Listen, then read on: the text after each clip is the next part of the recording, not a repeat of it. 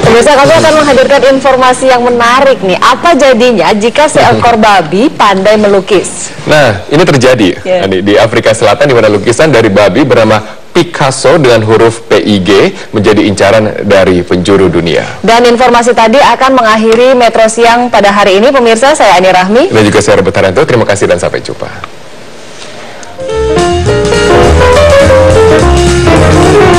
Talenta baru datang dari seekor babi di peternakan di Afrika Selatan. Namanya Picasso yang sejak Oktober 2016 lalu menjadi buah bibir dunia.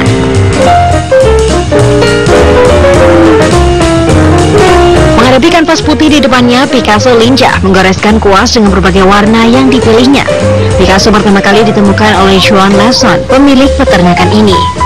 And she was really small when I rescued her. She was the size of a, of a small shoebox and literally doubled in size almost every week.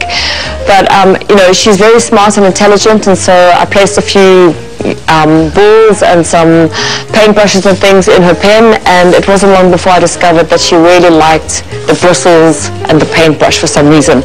And it was just a case of nurturing that talent and seeing how she developed as a smart individual animal here at the sanctuary, and she just really took a knack for it.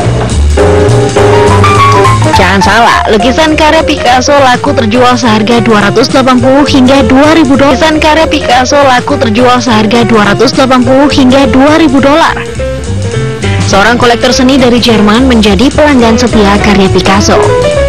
Okay, also ähm, ich denke, dass ich äh, bei der Auswahl des Bildes darauf geachtet habe, dass ich mir erstmal alle angeschaut habe und in dem speziellen Fall habe ich mich für dieses Bild entschieden, weil ich die Komposition der Farben sehr äh, gut finde. Die erinnern mich sehr an äh, Pop Art und äh, gleichzeitig auch an den Expressionismus. Äh, kommt wahrscheinlich von dem von dem Pinselstrich, den Picasso da angewendet hat.